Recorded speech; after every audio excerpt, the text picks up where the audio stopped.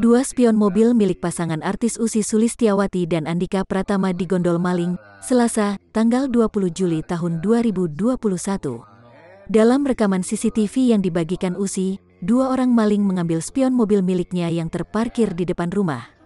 341 Seneng tiga empat satu Oh, cepet banget. Hmm, rajin tangannya. Oh, oh pinter. Satu lagi, Bang. Geram dengan aksi maling itu, Usi menyatakan akan memberi imbalan 5 juta rupiah secara tunai bagi yang berhasil menangkap para pelaku. Yang bisa dapetin ini dua orang, kasih bukti bener-bener mereka, DM aku ya, rahasia terjamin ak kasih 5 juta kes bukan karena harga spionnya sih pengen aja kenalan sama nih maling-maling biar bisa salaman, tulisnya. Dia juga menawarkan uang tunai tersebut bagi kedua maling yang terekam kamera CCTV itu jika menyerahkan diri. Usi menjelaskan kedua spion itu jika dijual, harganya tak mencapai dengan nominal uang pemberiannya. Atau malingnya mau uang lebih banyak dari jual nih spion?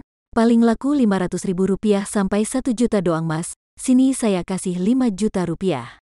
Kita kenalan nanti saya kasih tambahan deh, jelas Usi. Wajah dua pelaku yang berboncengan tersebut susah diidentifikasi karena mengenakan masker. Tampak pelaku dengan kaos menjalankan aksinya dengan menarik paksa spion hingga lepas. Sementara pelaku dengan jaket berperan sebagai pengendara motor.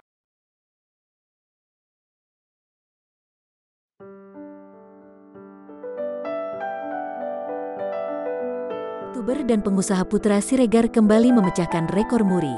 Kali ini rekor pemotongan hewan kurban di Hari Raya Idul Adha 1442 Hijriah. Tahun ini, Putra Siregar memecahkan rekor muri dengan kategori pribadi yang menunaikan ibadah kurban di masjid terbanyak, yang tercatat sebanyak 1.100 ekor, yang disebar ke 476 kabupaten di seluruh Indonesia. Andre Purwandono Customer Relation Muri mengatakan penentuan pihaknya memberikan rekor muri, karena Putra Siregar berhasil memecahkan rekornya sendiri. Tahun lalu, Putra memecahkan rekor menjalankan ibadah kurban sekitar 400 hewan yang dikirimkan ke 100 masjid di seluruh Indonesia. Tahun ini beliau berhasil memecahkan rekor beliau sendiri, yaitu di 1.100 hewan kurban di 1.100 masjid, kata Andre Purwandono dalam jumpa pers Putra Siregar raih rekor muri pribadi yang menunaikan ibadah kurban di masjid terbanyak di salah satu stornya di kawasan Condet, Jakarta Timur, Selasa, tanggal 20 Juli tahun 2021.